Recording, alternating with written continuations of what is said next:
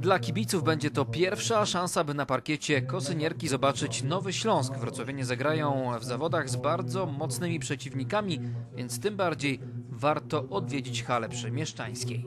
Chcieliśmy również, żeby nasi wrocławscy kibice mieli okazję przed sezonem zobaczyć drużynę w pojedynkach o, no, jakiś, o jakiś cel, żeby, żeby były to nie tylko sparingowe pojedynki, ale jakieś takie turniejowe, także emocji na pewno będzie dużo. Będzie drużyna z Torunia, w której trenerem jest Eugeniusz Kijewski, Ostrów Wielkopolski, który, z którymi no, boje już historyczne są, także na pewno będą emocje. Również drużyna ze Szczecina, także no, e, zobaczymy, zobaczymy jak to wszystko się rozstrzygnie.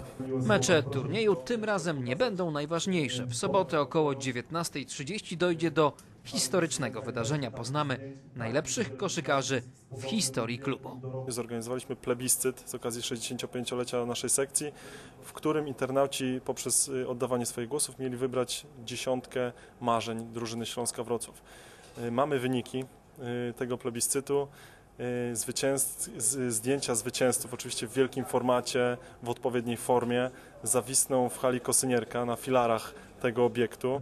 Przez cały weekend kibice będą mieli kogo podziwiać. W Kosynierce zagrają obecni profesjonalni gracze, zaprezentują się legendy Śląska, wystąpią również nasze nadzieje.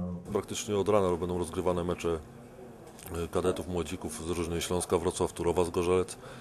Również e, wystąpi nasza trzecioligowa drużyna, która też będzie grała, także no, no, tych emocji, te emocje będą praktycznie święto koszykówki od samego rana.